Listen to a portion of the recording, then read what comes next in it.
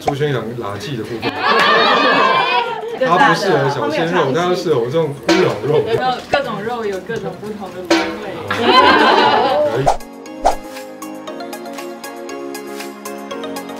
小资女孩之后了，那也很久了，二零一一年，小时那也我十一年了，你都没变。哎你也没变。挑一只表妹送给谁？我我会送给自己耶。对啊，我我觉得我自己需要被疼爱一下，选一个给自己。好，我有听到，我跟老板讲一下哈。好，啊，还剧本还没出来。那如果适合角色，当然要找啊。请得起吗？对你敢送我原价吗？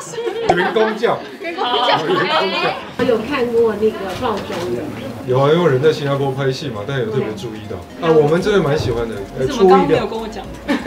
因为我我本来有跟赖导要拍嘛，你知道吗？哦？对对，对对然后我我我看了第一集、第二集，我其实我还没完全看完，但我真的觉得很很特别的拍摄手法，有点漫画感。对，是有点漫画感，然后我觉得医疗的东西用这种轻松包装的方式，那我觉得什么一个蛮棒的书写方法，谢谢。所以第二季要找我。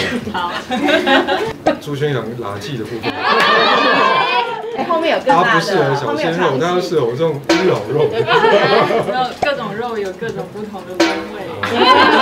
哎那生华本来不是也要制作新的作品？对对对，已经对有进步吗？有有有有非常在掌握当中。但我们也是医疗的东西，所以到时候当然相对的也会跟淑珍请益，嗯你要你要你要找我吗？那当然员工价嘛，女女外科去去你们剧里面，哎。哎，现在很流行两剧。结合。哎。你新加坡拍戏是什么时候回来？呃，五月初回来的，然后隔离嘛，对，没有确诊，有啊，在那边还是在那里？不知道罗生门，飞机上下下来要 PCR 哦哦 OK 啊哦，回来之后第四天就鼻子痒痒就是在，台湾。就有一点不太舒服，这样就也不是也没有什么症状啊，就觉得有点酸痛酸痛，然后我就搓一下，白天搓一次，哎，还是阴性啊，然后晚上还是再搓一次，呃，两条，然后赶快通报，然后卫生局就派人呃带带去做 PCR。